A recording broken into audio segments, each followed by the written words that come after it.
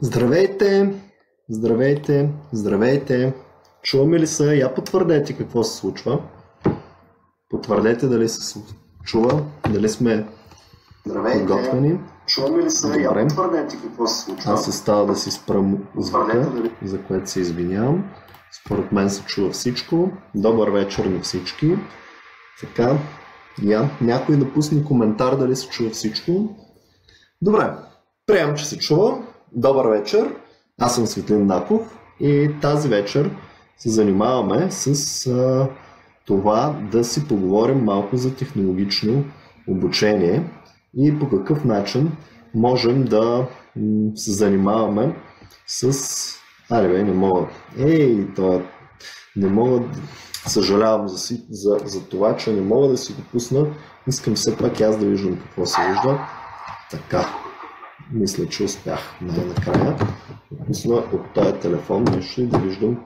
Страхотно! Добър вечер отново и отново и отново. Тая вечер се включваме на живо, за да поговорим за темата за технологичните обучения. А, както знаете, аз занимавам с преподаване, обучаване на млади хора и всякакви хора а, от много години, може би повече от 10, 12, 13 години, от 2000, може би от 99-та година, по-точно преди това като ученик. А днес ще поговорим за това как да станем технологичен тренер, защото това е готино, трябва да го правим, какво ни дава това, какво печелим и такива неща. Ще поговорим за това как можем да се възползваме от безплатните курсове на софтуни за подготовка на тренери, както и стъпките от обучението, което сме предвидели да направим сега през юли-август месец. А, какво ви дава то, как може дори да станете и част от екипа на софтуни, а, защото ние ще се занимаваме с подготовка на преподаватели, както за тяхно лично удоволствие или кариера, така и за софтуни, а, ако искате да се включите в нашия тренерски екип. Та, първо, защо да стана тренер? Еми, защото е яко. А, някои хора изпитват вътрешно удоволствие от това да преподават, от това да разкажат, от това да обяснят, от това да, да бъдат в помощ на другите. И ако ви сте от тях, а, наистина това е готино и ви го препоръчвам. Ако не сте от тях, ами не е за всеки. Наистина това е една професия. Както казват хората, доктор, поп и учител се става с вдъхновение, не се става нито с пари, нито с образование, нито с а, как кажа, нито на сила, нито с а, някаква държавна система. Това става когато човек наистина чувства, че има мисия, че има кауза, че има призвание да преподава. И аз много ще се радвам, ако а, се намерят такива от вас, които наистина се занимават с тази наша професия. Освен това, другото, което мога да ви кажа е, че това е едно полезно знание, защото едно е да си програмист, едно е да си технически човек, но друго е да можеш да продадеш себе си, да, да представиш себе си, да представиш идеята си, да завладееш преподавателя, да, т.е. работодателя или клиента или пред когото представиш, за да може а, всъщност да се получават нещата по твоя начин. Няколко думи за безплатния тренерски курс съм подготвил за софтуни. Всъщност всички е, знаете, че ние сме заложили в учебната програма тази година да направим безплатен курс за тренери. Първо, защо ги наричам тренери? Защото думата учител е малко, я знам, с негативен оттенък. Думата преподавател с още по-негативен оттенък. Всъщност това са хора, които тренират другите или подготвят другите или обучават другите по начин така, че да могат а, те да бъдат преподаватели. Може би преподавател е другата, тренер, тренер, а, обучител, нещо такова. Не искам да се свързваме с традиционните опера... а, преподаватели, които четат лекции, застават за едно бюро и почват да четат. И когато всички заспят, те спират да четат и никой не разбира, че се спре. Да, а, нашия курс за тренери а, има за цел да развива умения за презентиране, умения за подготовка на техническо учебно съдържание, т.е. за да можеш да презентираш, ще първо трябва да си подготвиш нещата, за да можеш да водиш обучения и а, технически най-вече в това сме специалисти, ти трябва много добре да се подготвиш, да си подготвиш примери, да си структурираш учебното съдържание, да си подготвиш а, презентация, да си подготвиш а, задачи за практика, да си подготвиш а, лабораторни упражнения, представя и така нататък. Ще поговорим за презентации, учебни материали, те наречените лабове, туториали, изпити, въобще представянето на живо и всички тези неща. Става въпрос за един безплатен курс, който съм ви подготвил и който ще водя лично аз. Тоест, ако някой иска да учи при Митков, това е в момента и да черпи по някакъв начин от неговите знания и вдъхновения. Това е добър вариант да, да се сблъска лице в лице и да, да, да се възползва от тази възможност. А, единственото условие за включване е изпращане на презентация, защото ние очакваме, че има много хора, които искат да, да пробват да презентират, да говорят пред публика, да причупят себе си, да споделят своите знания и умения, но много малко от тях ще бъдат наистина сериозни, затова има един филтър за сериозност, това е изпращането на презентация. Сега няколко а, неща за нашия курс. А, курса е свързан с изграждане на технически презентации, използвайки презентационен софтуер. Не сме вързани непременно, да кажем, за PowerPoint или Google Slides. По-скоро ще дадем принципи и концепции как да правим презентации. Неща от сорта на как да подредим съдържанието, че трябва да имаме обикновено малко текст и много картинки, много а, и, и карти, текст и картинка, да кажем, че трябва да има едър шрифт, че трябва да има а, когато говорим за технологично обучение, много примери, много код и малко говорене и малко е, текст, че презентацията не е книга и не трябва да има цели изречения, всякакви такива неща. А, ще говорим, разбира се, и ще тренираме развитие на презентационни умения. Тоест как говориш пред хората, как се държиш, body language, интонацията, жестовете, а, неща като защо не трябва да, да, да мълчим дълго време. Примерно да стоим и да мълчим една минута, защото ми паля Visual Studio. През това време, може би трябва да говорим нещо. Ще говорим за а, много неща от езика на тялото, неща като стойката, като жестовете, като а, ако щете начина по който гледаш, дори дори някакви техники, като да кажем визуално маркиране, неща като как да се справяме с многознайковци, как да се справяме с хора, които трошат дисциплината е, и такива неща. Въобще представяне на информация пред широка публика по начин, по който те да я научат. Тоест е, това може би е комбиниране от това да си интересен, забавен, да имаш енергия, да говориш, да вдъхновяваш и това все пак да научиш хората. Защото има едни тренери, които са много интересни, много забавни, то ти е кев да ги слушаш, готино ти е, обаче не могат да научат на нищо, защото накрая нали, оставаш с впечатлението, че си прекарал много добре, обаче нищо ново нямаш.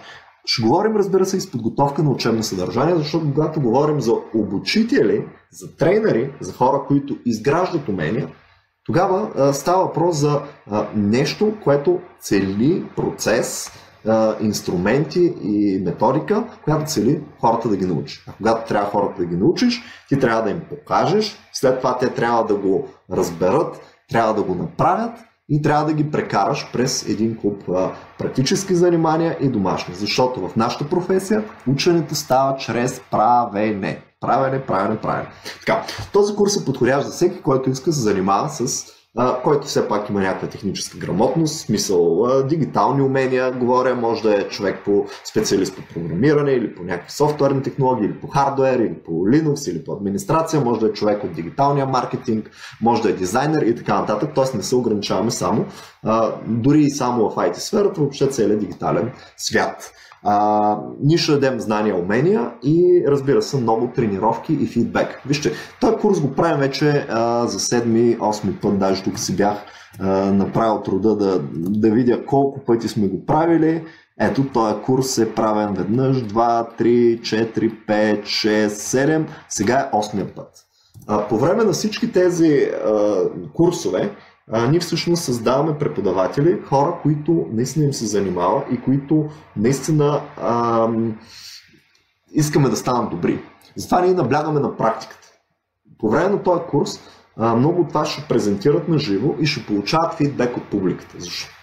Защото човек, когато говори и не получава обратна връзка, той не знае къде е бърка. Той не може да усети, например, че загърва хората, или че жестовете са неправилни, или че а, дикцията му е неправилна, или че слайдовете са му криви и кофти с много тексти, с древен шрифт и с лош контраст, така нататък, така нататък. Така че, нашия курс е летен, той ще стартира, а, записването е до 15 юли, както е показано тук, ще стартира на 21 юли и ще завърши финално с презентация на живо в един такъв групов семинар на 24 август. Да, знам, че е лято, знам, че е много а, така, такъв момент, но този курс ние го правим три пъти в годината и винаги е безплатен и винаги а, чрез него всъщност даваме възможност както на много хора да научат още едно умение, още едно знание, още една компетенция, която им е полезна в живота, но даваме и възможност някакви хора да се присъединят към екипа на, Софт, на Софтуни. Аз съм много доволен, че ние си изграждаме сами голяма част от тренерите и те са всъщност наши топ студенти или фенове, които минават тренерския курс, след това ги пускаме на по-начални обучения, ако са добри, минават вече и към целия екип. Така че а, с две думи, този курс ви е и входна точка, ако искате някой ден да работите в софтуерния университет, да, да преподавате, да вдъхновявате хората и въобще да ги запалвате, защото за мен това е една готина кауза, готина мисия. Така че до 15 а, юли вие трябва да приготвите презентация. Сега, какво означава това? Ние искаме да филтрираме а, сериозните хора и да работим с тях. Да си представим, че има 80 кандидата за този курс, не знам колко са в момента, не съм проверял, мисля, че има към 50-60. Да кажем, че са 80, от тях ще изберем а, да работим с тези, които са сериозни. Първият филтър е да се подготви презентация, втория филтър е да се изнесе презентация. Като ние, разбира се, искаме да видим входното ниво, т.е. да набележим конкретни неща, които биха могли а, да са проблемни в даден тренер. Защото, нали, идеята е така. Идваш, презентираш, какво знаеш в момента. Супер. Все едно входно ниво. Както като отидеш на курс по английски, първо да проверят на какво ниво си, за да сложиш подходяща група. След това минаваме концепция. Как се правят слайдове, как се презентира, как се правят, как се говори през публика, вдъхновяващо с енергия, с жестове, с нали, по интересен начин, така че да им хванеш вниманието. След това говорим малко за правене на други учебни материали, които не са презентации, не са презентирани, да кажем туториали, да кажем гайдлайнове, да кажем да кажем задачи, как се описват, как се правят, как, дори и, и изпити. И в крайна сметка имаме трябва да подготвите техническа презентация, да я качите на сайта, тя ще ви излезе като домашно и за 10 минути да я представите. Тайминга е един голям проблем, на който ще обърнем специално внимание в курса, как всъщност да се побереш във времето, което е планирано. Защото а, повечето хора се пре, пре, превишават времето и не могат да се справят с това, че а, всъщност имаме а, ограничение и колкото и да искаме да кажем 100 неща, трябва да кажем само най-важното. Така че, Записването в момента е онлайн, но, но курса по принцип е присъствен. Значи всички се записват и онлайн и тия, които а, ре, реално си минат приемния изпит, а, тогава те, те се прехвърлят в присъствено обучение. Аз лично се ангажирам, ако има твърде много кадърни хора, да направим, ако трябва, две групи или да намерим начин да не режем хората с желания. Тоест, ако има 200 души, еми 200 души ще учим, нали? Стига да са сериозни, стига да направят презентация и така нататък. А като говорим за тая а, презентация, тя не е нужно да сте правили ви. Може да вземете чужда и да адаптирате. Не, не е нужно, както и в реалния свят. За да направите едно обучение, не е задължително вие да сте автор на учебното съдържание. Може да го вземете от някой и, и да говорите. А, идеята е да видим някакво начално ниво, чисто като презентиране, подготовка, вкарване в тези 10 минути, отговаряне на въпроси а, и цялата тази история с body language, с енергията, с говоренето, с стойката, с а, дикцията, с а, щете, а, начина на представяне на, на материалите, на начина на правене на демонстрация, ако има такава, начина на говорене, а, подбиране на темата, адаптиране спрямо аудиторията и нейните а, нали, нужди и така нататък. И така нататък. Така, нашите занятия ще се провеждат основно в зала Open Source и, и Experience. Това е в сградата на Софтуерния университет в София, знаете къде е. Формата е основно присъствена. Защо присъствена? Защото имаме контакт с лектора. Когато презентираш на живо, ти презентираш. Сега вярно, аз в момента ви презентирам по, по интернет, но, но реално не, не е чак толкова истинско. Нали? Може би ще усетите някаква енергия в гласа ви, може би някакво ръкомахане и така нататък, но на живо си е някакси по- по-истинско. Така че нашия курс е основно в присъствена форма. А хората, които не могат да идват и да кажем са от страната и все пак искат да се запишат и да се възползват от това обучение безплатно, да, те могат да се запишат онлайн, и, но няма да получат, да кажем, фидбек, т.е. да презентират пред хора и да получат фидбек, обратна връзка, как се справят и какво трябва да подобрят. Разбирате ли? Това е soft skills. Soft skills се учат присъствено. Това е по мое мнение. Soft се учат с правене. Това пак е по мое мнение. Нали, да, може да има теория, да, мога да ви разкажа някакви неща, да, мога да поговоря за, за гласа, за стойката, за начина по, по който да се държите пред хора, да, да им привлечете вниманието, да им е интересно и така нататък, но, но това е само говорене. Значи, този курс а, ние искаме да има практика, да има правене, да има а, истинско презентиране, да видите себе си, да получите обратна връзка от хората в залата, както и да видите други ваши колеги, какво правят правилно, какво правят хубаво, какво бъркат и така нататък. Готиното е, че ще говоря лично аз. Аз съм с доста опит в технологичните обучения. Мога да кажа, че съм преподавал в 4-5 университета. От последните 15 години се занимавам активно с това. Мина там някъде от 99-та година до 2017 уха, наближават 20 години, откакто така сериозно се занимавам с преподаване. Така че имам какво да ви споделя. Хубаво е да си носите собствен лаптоп, но ако нямате, не, не е проблем. А, Курса ще говоря основно аз, може би колегата Иван Йонков ще се включва също, сега няма какво да ви обяснявам за мене. Преподавател съм, тренер съм, предприемач съм, треньор съм бил, състезател съм бил, какво ли не. А, това не е толкова интересно. Курсът е безплатен и в този курс ние искаме да ви споделим. Искаме всъщност да направим повече хора, които могат да преподават в България. Защото липсата на учители, липсата на тренери, липсата на хора, които да предават знания е, е голям проблем навсякъде в България. Знаете, цялостно образованието, особено училищното и университетското, не са на твърде добро ниво, защото то там има и проблем в системата. Нали? Примерно в традиционните университети.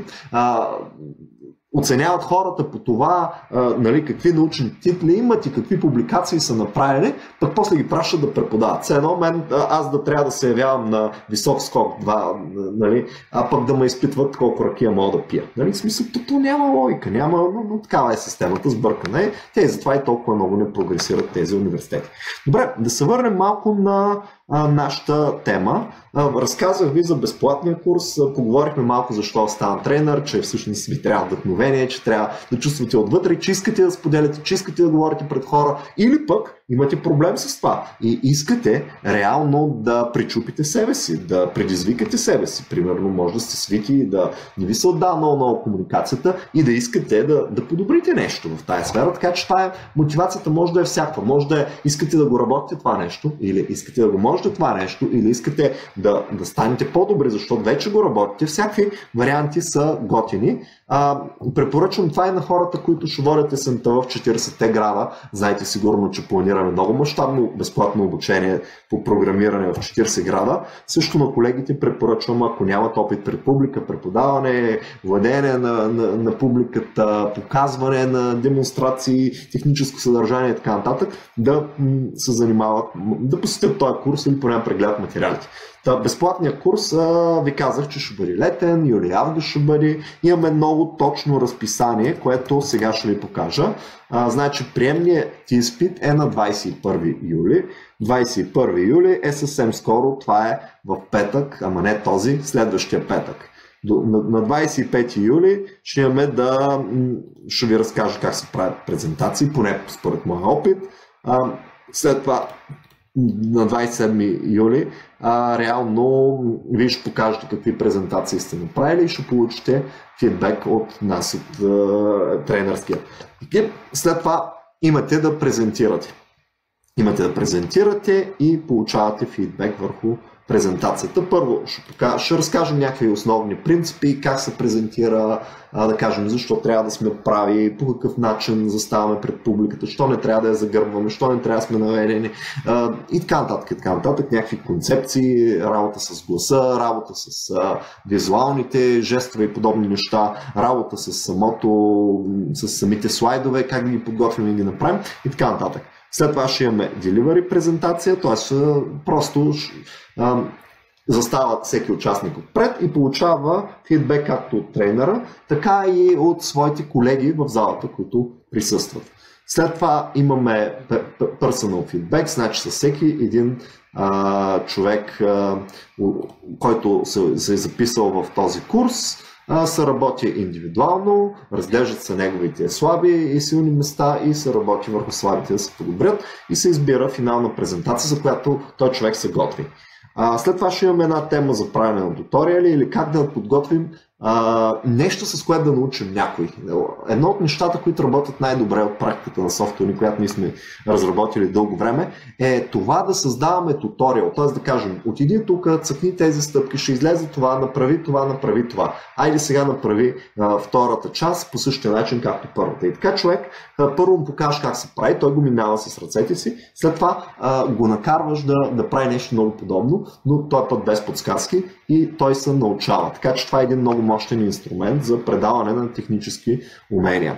След това ще работим в екипи, ще разделим на екипи по тройки и ще имаме екипна работа, пак отново по подготовка на презентация, изнасяне на презентация, подготовка на учебни материали и така нататък. И най-накрая, на 24 август, ще имаме финална презентация, а, която ще направим един голям семинар, ще поканим много хора, надявам се стотици и ще тренирате на живо. Нали? Това е съвсем нормално. А, така че долу-горе това ще бъде нашия курс. Пак казвам, че той е безплатен. А, всеки може да се запише, това може да са учители от училища. Да, знам, че те преподават от години, но може да получат един по-различен, по-съвременен, може би, поглед спрямо това, което са ги учили на времето в, по педагогика. А, от, от, освен това, може да се запишат а, студенти, ученици, хора от градовете, хора, които работят нещо, но имат нужда да презентират в ежедневието си. Само, че обръщам внимание, че нашия курс е за технологични обучения, а не за всякакви. Тоест, няма да се занимаваме с това как да преподавате градинарство или свиневътство нали, или пък а, търговия на имоти. Нали, тоест, не, ние сме насочени към антисферата и дигиталния сектор защото това е нашата сила. Разказвам ви за входния изпит, значи, за, ако някой иска да се запише на нашия курс да го изкара, първата му стъпка е да запише курса. Просто кликва, ето то, това бутонче, а, за, Хубаво е, има някъде записване. Аз съм в момента лектор и не мога да запиша, но би трябва да имате бутонче за записване. Цъкате това бутонче за записване и а, след това ще ви излезе едно домашно. Трябва да изпратите слайдове. Те, които пратят слайдове, върху които ще презентират 10 на минути, значи за 10 минути е, презентация ви трябва 5, 6, 8, 10 максимум. Там някъде 5-6 слайда по някаква тема. Ви може да си измислите. Примерно темата може да е какво е Unity. Примерно. Или какво е петте най-важни причини да ползвам Инстаграм, примерно. Или какво е биткоин и блокчейн, примерно. Нали? Е, е така презентация може да е, която а, показвате нещо за много кратко. Или как се работи с регулярни изрази в PHP, да кажем. Може да е много техническо, може да е нещо по-общо от сорта на, а, да кажем, за и против Брексит, ако щете. Нали? Е, айде, това не е толкова техническо предпочитаме техническа.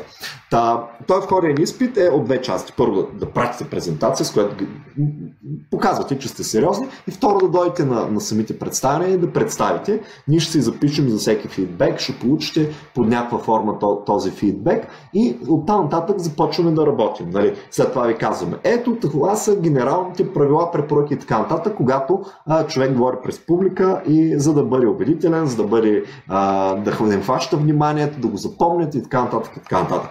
А, след това Продължаваме с създаване на технически презентации, т.е. как си правим слайдовете. Ето, например, в момента аз съм направил някакви слайдове. Тези слайдове, между другото, ги направих за около 15 минути а, и ползвах един много прост принцип а, по едно-две изречения и а, иконка. Друго изречение иконка. Трето изречение иконка, т.е. малко тексти с много. Това е една от техниките, когато а, говориш върху не чак толкова техническа тема, да имаш а, точки, с които да подсещаш. Примерно, тук се подсещам, че трябва да говоря за входния изпит. Тук се подсещам, че трябва да спомена, че ние ще правим технически презентации. А, аз ще показвам а, инструменти като PowerPoint най-вече, но вие може да ползвате и някакви други. А, принципите са същи. Тоест, това, което виждате на екрана, може да направите и ако щете на Photoshop, може да направите на, на някакъв друг инструмент, на Prezi и така нататък. Така нататък. А, Следващата тема, която ще засегнем много сериозно е презентирането пред публика. Как се готвим, как преодоляваме сценичната треска, нали, без, да, без да изпиваме килоракия преди да влезем в клас, а, как да, да запомнят, как да пускаме майтапи, без да прекаляваме, да кажем, как да правим нещата интересни, как да сменяме интонацията, за да контролираме хората. Или да ги стреснем, за да ги събудим малко, да спят. Разбирате ли, има много-много такива техники, за които аз ще обърна персонално и индивидуално а, внимание на всички, ще ги разгледаме и след това всеки един от тях, от вас, ще ги потренира, ще ги пробва, ще, ги, ще опита да ги внедри в работата си или просто да се подготви за нашето финално представяне в софтуни. Така че това са неща, които, а, за които ще говорим, за които аз имам доста опит и ще ви покажа. А, следващото нещо, последното може би е създаване на туториал стъпка по стъпка. Т.е. по какъв начин а, можем да създадем нещо, което да научи някого на някакво знание като говорим за технологични знания, примерно да направим туториал за Adobe Illustrator и как да направим книга с Adobe InDesign, примерно, а, стъпка по стъпка ще, ще видим какви са основните принципи, как предаваме знание чрез туториал стайл, чрез следване на стъпки. Това е една от най-ефективните технологии, които от години ползваме в Softony, която наистина работи много добре. И всъщност много хора, когато учат една технология, те търсят туториал.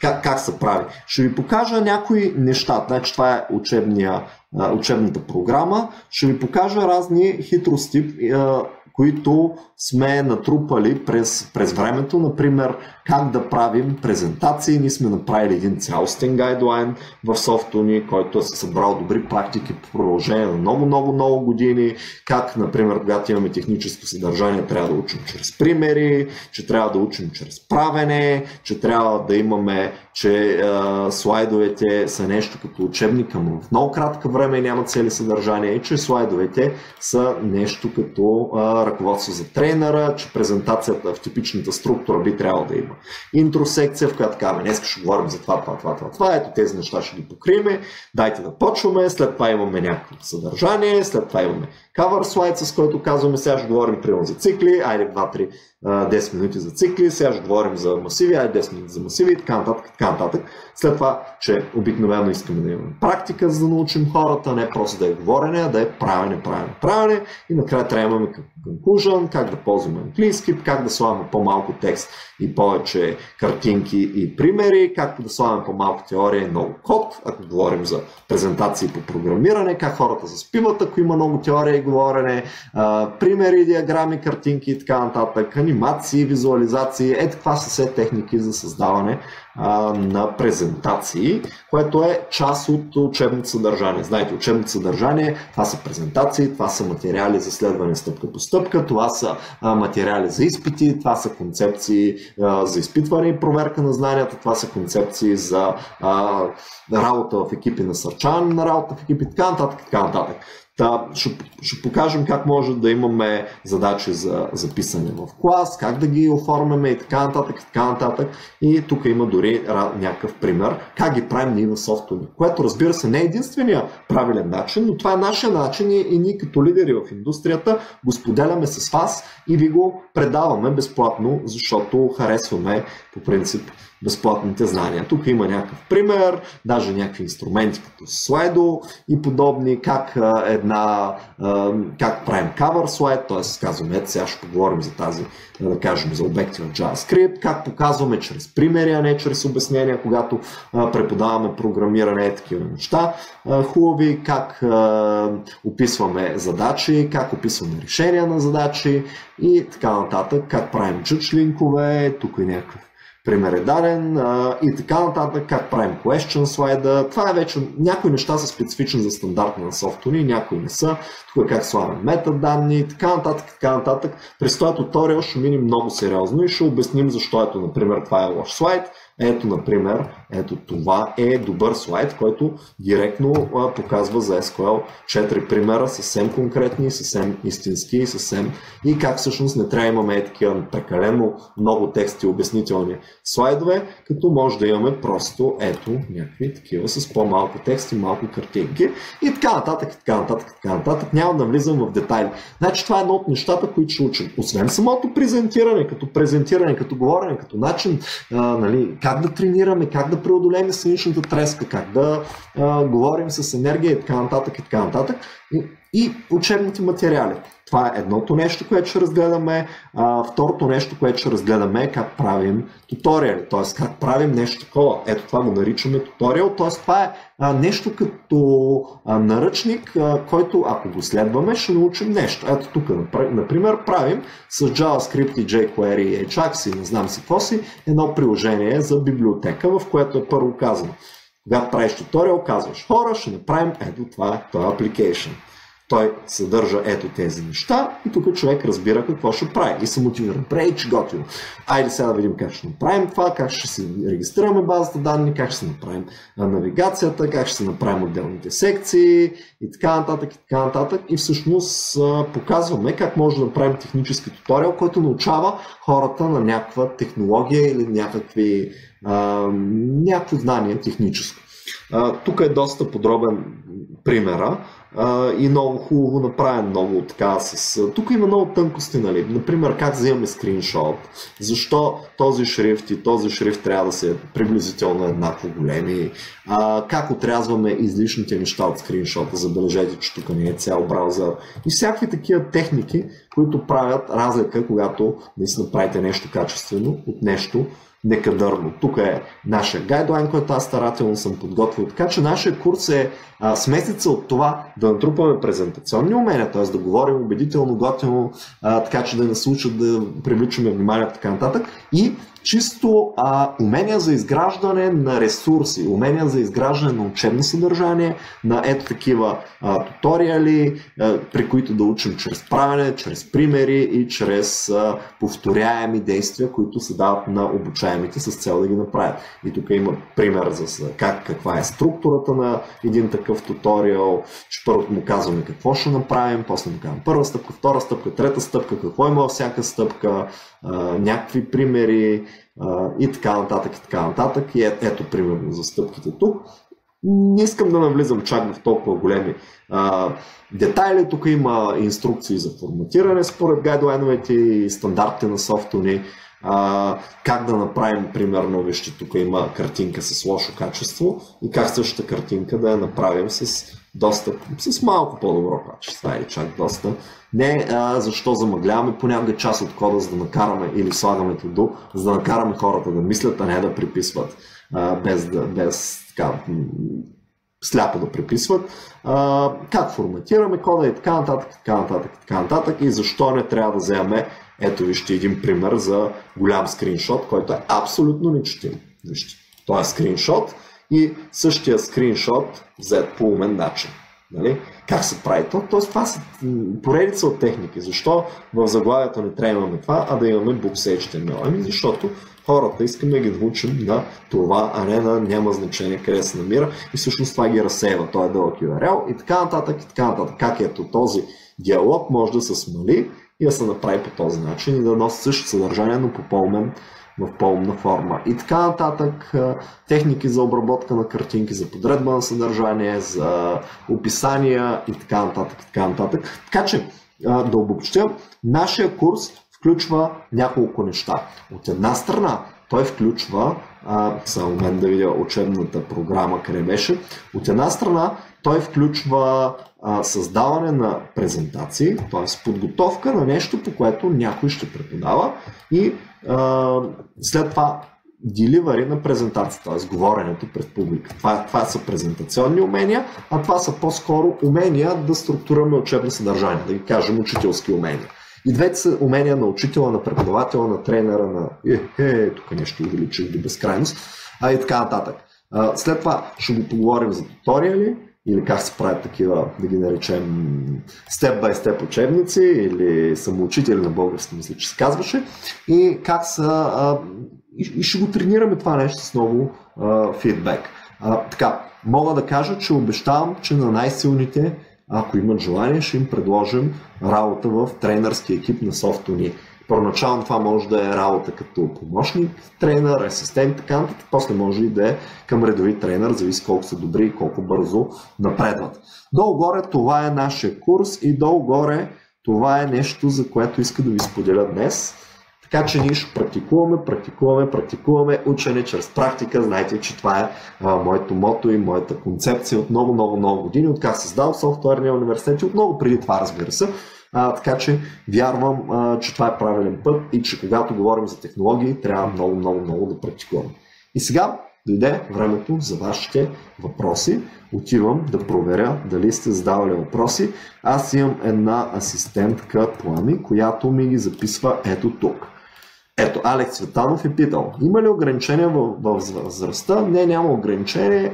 Нали, все пак някаква от четвърти клас, пети нагоре до, да знам, 50, 60, 70 години. А без две думи няма. Няма ограничение, всеки може да се запише. Антон Димитров пита, господин Млаков, искам да ви попитам, айде сферата през 10, последните 10 години бележи сериозен ръст, така е като привлича много млади хора. Според вас има ли опасност да се повтори дотком балона, който стри на IT индустрията? Отговор е категорично не. Не, не, не. IT индустрията ще продължи да расте, има опасност да намали темпа си на ръст, но не вярвам да спре да расте. Защото дори финансовата криза през която се случи около 2008 година, сигурно се спомняте, глобалната, която срина цели пазари, цели економики, едва ли не, а, фалираха банки, предприятия, цели пазарите на имоти и така нататък, тя не можа да срини IT индустрия. Това, което се случи е, че фирмите забавиха растежа си или спряха да наемат нови хора. Много малко IT фирми уволниха хора. Почти нямаше, това беше рядко срещано. Така че това първо. Второ, целият свят се дигитализира. Значи, сферата на технологиите и професиите в технологиите непрестанно нарастват и нарастват и нарастват и нарастват. Така че а, това няма да спре. Виждате, че вече нещата отиват към роботизация, към, към е такива неща. А, което какво означава? Означава, че ще се изгубят а, ниско квалифицираните професии, като таксиджия, бакшиш, готвач, да кажем, някои ниски степени на юристи и така нататък които правят договори, примерно и подобни работи, ще ги прави софтуер, ще ги прави компютър, ще ги прави робот. А какво ще стане? Ами някой ще трябва да пише софтуера за този робот. Тоест това ще расте. Защото ако до преди 20 години нали, това да има, да управляваш нещо с микропроцесор беше е, адванс история, нали, те първа навлизаше в автомобилния сектор, то в момента във всеки един котлон, във, всеки, във всяка една лампа, ако щете, по-съвременна LED лампа, например, има микропроцесор, там има софтуер, там има код, там има нещо. Забележете, всеки един а, съвременен етикет в един магазин за дрехи представлява RFID так. Значи тази индустрия продължава да нараства, защото все още глобалната дигитализация на всички сфери на живота не се е случва. Тя върви. Все още нали, в някои места хората си карат по-старому. Това е един прогрес, който непрекъснато нараства. Така че аз вярвам, че в дългосрочен план IT индустрията няма да се срине. Тя не е балон. Сега, това не е балона на криптовалутите, който рано или късно по всяка економическа логика ще се стрини, след това ще се нормализира, след това пак ще порасне и така нататък. А, тук говорим за знания, инженерни знания. Значи, това са в момента, ако искаш да правиш коли, трябва ти IT грамотност. Ако искаш да правиш мебели, трябва ти IT грамотност, защото трябва да ги нарисуваш нали, тези мебели. Ако искаш да правиш сгради, трябва ти IT грамотност, трябва ти компютърна IT, IT сфера. Ако искаш да правиш а, роботи, еми трябва ти много сериозна IT сфера. Разбирате ли? Всичко се дигитализира. В момента маркетинга е дигитален маркетинг. Всеки един човек трябва да може да а, рисува, обработва а, изображения, нали, рисува в кавички казано, а, да, да подготвя изображения. Всеки един трябва да може да пише документи. Всеки един а, човек трябва да може да си пусне една кампанийка във Facebook, да може да си направи, ако щете, едно видео, да си и така нататък, да си направи прави презентация и да не говорим вече за програмисти, които има огромен глад и, и продължава да расте този глад, защото да станеш програмист е трудно. И за това няма скоро да се срини IT индустрията. Особено програмирането.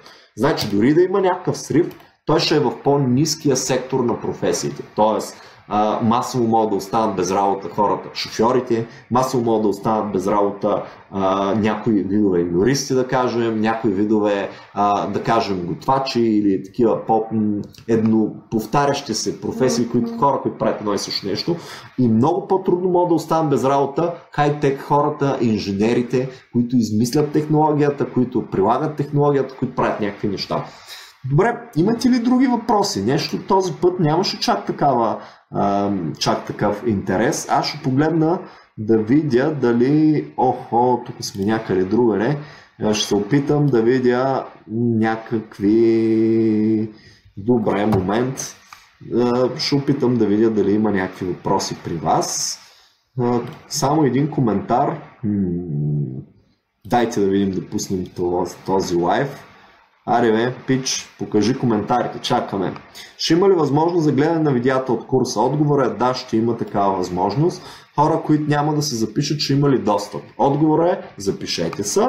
Ако вие не представите а, презентация, ще запишете онлайн. Тоест отиваме и кликаме ето този бутон, ако искаме да гледаме видеята. А, курса ще бъде безплатен, не мога да обещая че ще е публичен, може да го пуснем и публичен, но за момента, щом не гледате, нищо не пречи да цъкнете този бутон и да се запишете след регистрация в софто ни. Така, а, друг въпрос гледам.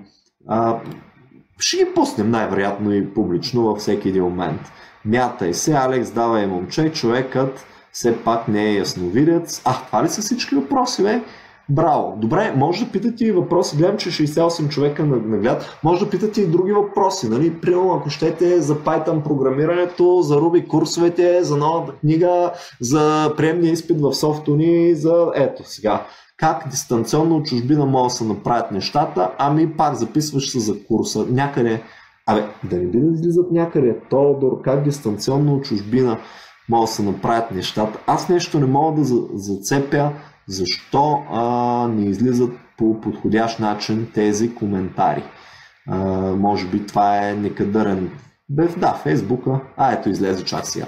А, така, на въпроса как от чужбина дистанционно мога да, да учиш а, тези неща, ами записваш се за този курс, ще получиш достъп до видеята и вече това, което не може да направим от чужбина за момента, или поне не сме го планирали да го правим, е да представяш, да говориш пред публика и да получиш фидбек. Тоест трябва по някакъв начин практиката да си организираш самичък. Това е, това е нещо за дистанционно. Така, някакви други въпроси имаме ли? Човека не е ясновидец. Я да видим, ще се запишете ли на курса, бе? Никой нищо не казва. Ще се радвам да, да споделите някой друг, видеята, хора, които няма запишат, че имат ли достъп.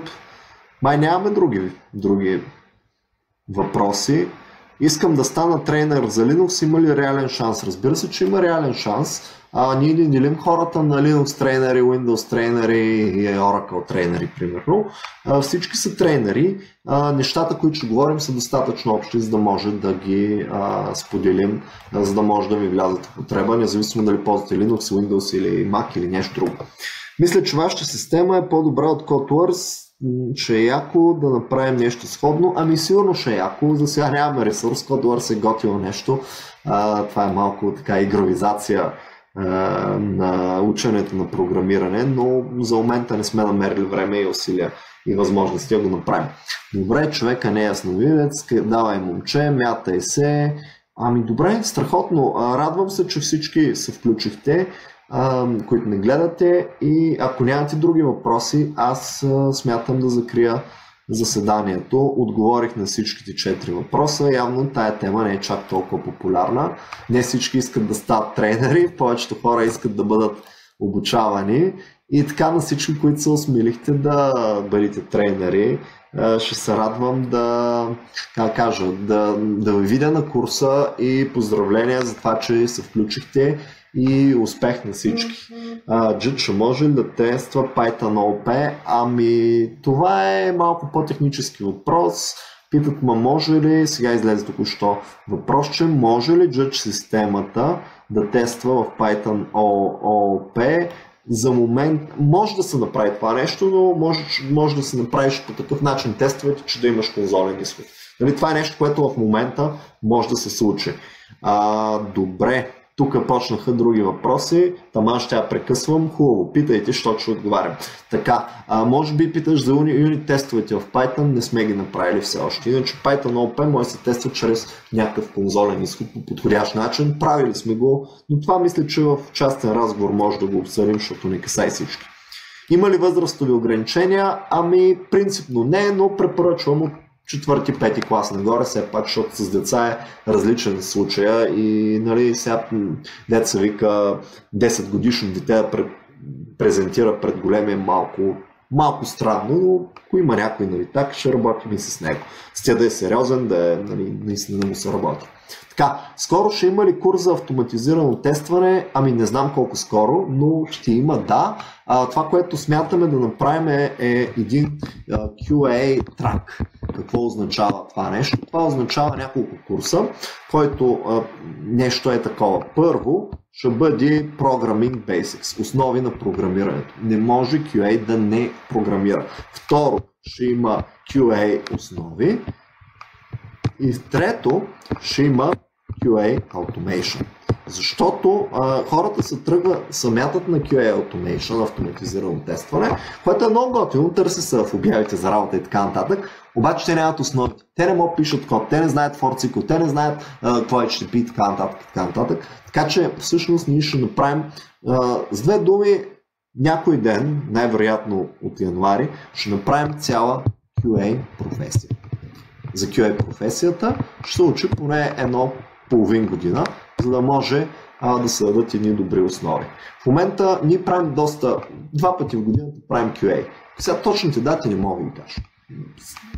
До половин година ще има такъв курс, ако трябва да отговаря точно.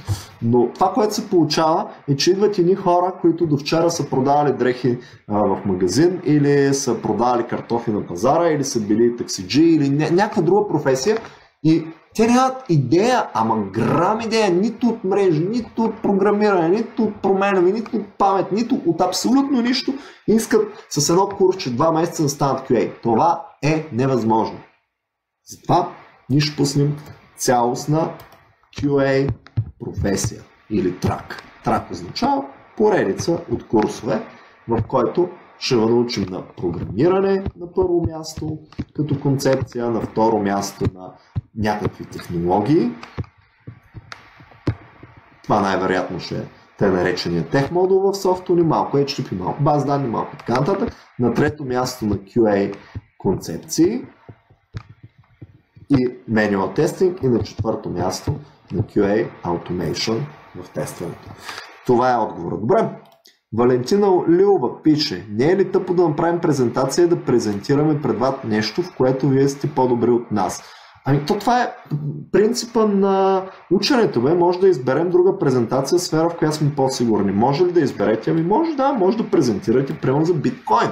Може да презентирате, например, за, не да знам, за софтуер за ДНК анализ, примерно.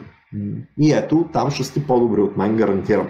А, та, та дали няма да е тъпо? Тук целта е научаване. Сега, то по същия начин няма ли да е тъпо, всъщност, ако ви учите програмиране, а, да ви изпитвам на нещо, което аз съм по-добър от вас. Смисъл, не, няма да е тъпо, а, Валентина, така че няма никакъв проблем да се включиш. Така, отговорихме, даже може, може тия, на които съм отговорил, да ги лайквам, лайквам, лайквам лайквам, лайквам, лайквам, за да знам докъде сме стигнали. На Валентина отговорихме, на Токоц отговорихме, на Алекс отговорихме, на Тодор, на Руси отговорихме, на Галина, на Валя отговорихме, Мирослав Станчев. След кой модул си шар професията е подходящ да се кандидатства за работа? Отговорът е след плата. Тук отговорът е след веб модула, защото това, което търсят всички е веб. И ще кажете, що не го направим първи модул? Ами защото за да ползваш веб, трябва да знаеш бази данни, трябва да знаеш OP, трябва да знаеш малко JavaScript и HTTP и Ajax и е такива неща. И за да учиш веб, трябва да можеш да програмираш като цяло. И за да учиш веб, трябва да си изкарал общо взето, да, общо взето бази данни, OP, програмиране, е такива неща. Така че това е последния модул. След него може да се... Така. Или по-точно казано, а, тук мога да, да кажа, че а, ако трябва да го дам в число, а, най-добрите студенти, най-силните, след един-два семестъра започват и за работа. Започват работа. По-слабите след 3-4 семестъра, т.е. след година, година и половина. Нормалното е след година и половина да почнете да търсите работа. Така, Валентин Стойков. Тренерите, които преподават софтуни, с пълна заетост ли са или може да се преподава паралелно? Отговорът е, че може да се преподава паралелно. Ние имаме фултайм тренери, около 14 човека, мисля, че са в момента.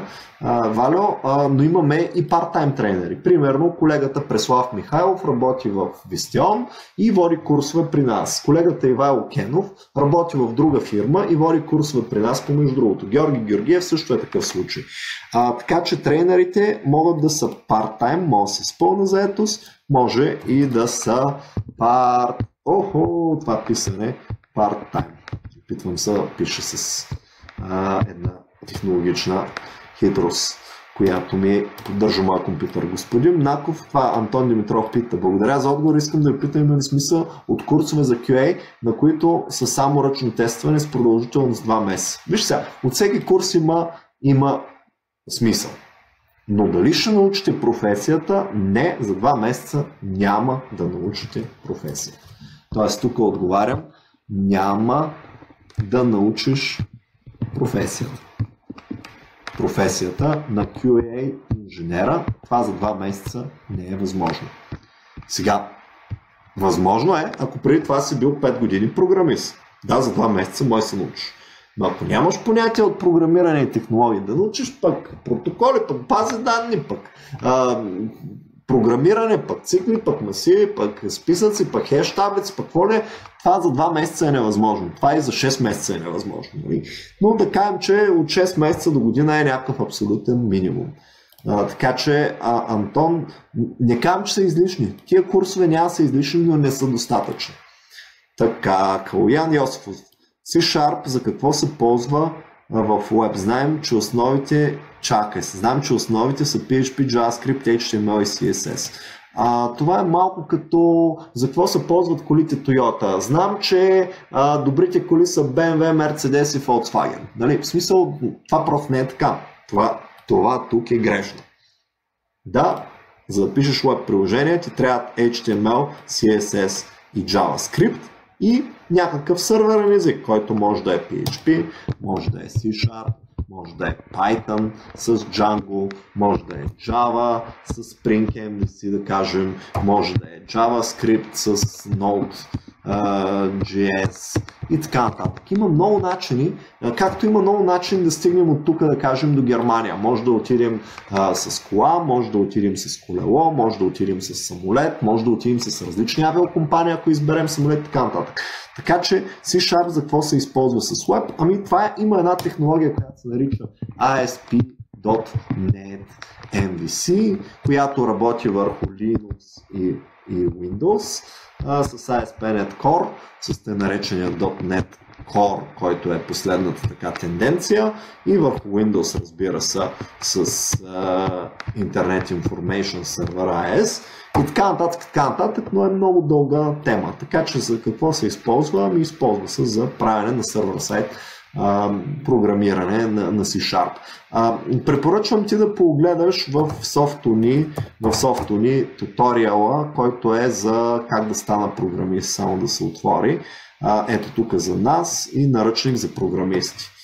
Ето тук ще се отговориш на много въпроси. Какво е да си програмист, как се става програмист, различните видове умения, фронтенд какво означава, какво означава web developer, че какво означава бекенд, защо тези неща могат да се правят на различни езици с различни технологии, защо embedded developer е нещо тотално различно, защо game developer ти правят нещо много по-различно, защо database developer правят много различно, какви са другите професии от софтуерния сектор, че има администратор, пък QA, пък UX, пък Digital Marketing и така нататък и така нататък.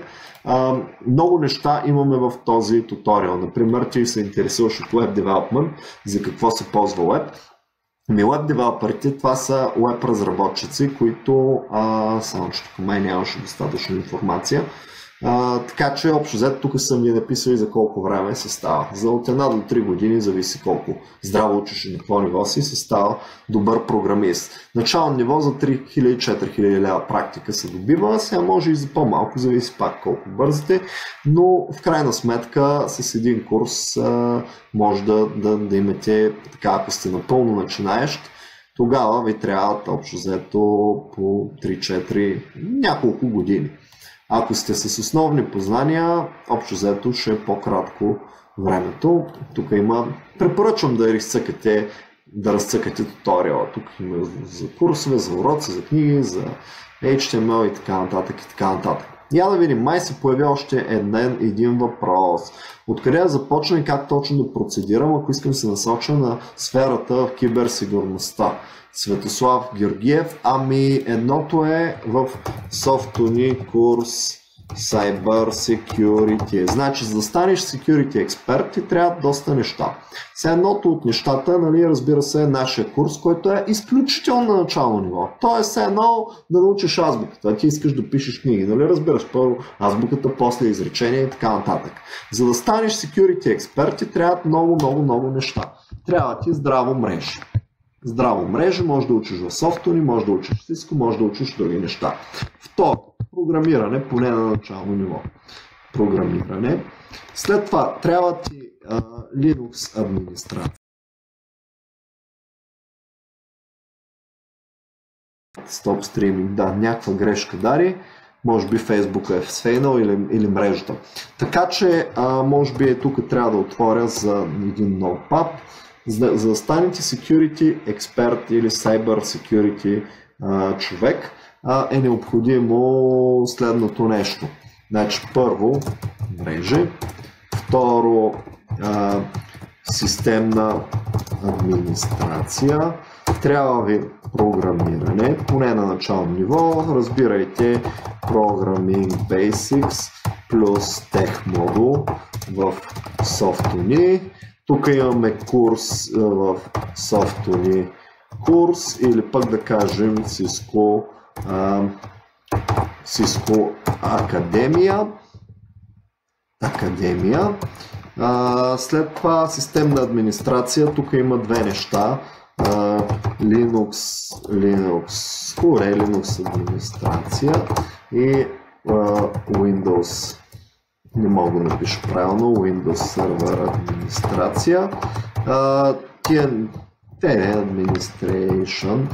Така, това го има в Softuni като курс, това го има в Softuni, само че при нас са на начално ниво.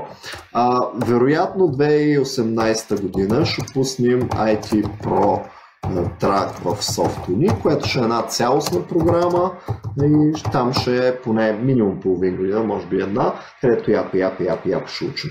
Иначе, това, което можеш да видиш на момента абсолютно безплатно е следното. Cybrary.it това е един сайт, където има безплатни курсове за мрежова сигурност и подобно. Сега мога да ви покажа специално Аребе каталог, тук има и дори за етично хакерство и такива неща, за cyber security, ето penetration testing ethical hacking. Това е курс, който е само да видя колко часа е и дали е безплатно. Мисля, че е безплатно. Това са ви мадулите, penetration testing, footprinting. Но тук трябва хора наистина да, да имате понятие какво правите, защото това е тежка материя. Все едно да учим ядрена физика, но преди това да не може да събираме числа. Нали? Първо трябва да се научите да събирате числа, след това уравнения, след това някакви неща, след това малко базова физика, след това ядрена физика. Това да, да, да съм security експерт е все едно ядрената физика нали, на, на физиката. Така че а, показвам ви един безплатен а, курс, който, който е добър, между другото, но е, материалите не са толкова добри, защото са само видеа. Няма слайдове, няма а, толкова много ресурси и така нататък. А, препоръчвам и следното. Има една cyber security, не, етично хакерство. Ето тук можеш да влезеш и да потърсиш повече информация в ето тая мрежа. Тук са няколко стотин души, които а, така, Добре, връщаме се наобратно. Мале, аз пък си затворих това нещо с коментарите. Отговорихме и на Цветослав, на Калоян отговорихме преди малко. И като гледам, май няма други въпроси. Хора, всякакви въпроси. Ако някой не слуша от любопитство, не само за тренинг, а, всякакви въпроси към мене, сега съм ви паднал ред, се вика. От време на време всякакви хора идват и казват, искам среща с Наков. Еми, не мога да ви отделя време за среща, но сега може да питате всякакви а, неща, които ви интересуват. Отговорих на всички. Броя до 20 и ако няма нов въпрос, спирам. Едно, две, три, 4, 5, 6, 7, 8, 9, 10 и така нататък, и така нататък, и така нататък. Отново благодаря на всички, че се включихте в нашето живо включване. А между другото, може да предложите тема за, за следващото включване. Мога да разкажа за нещо, така че ще се радвам. Няма нови въпроси, 20 секунди минаха, така че колеги, приятели, довиждане.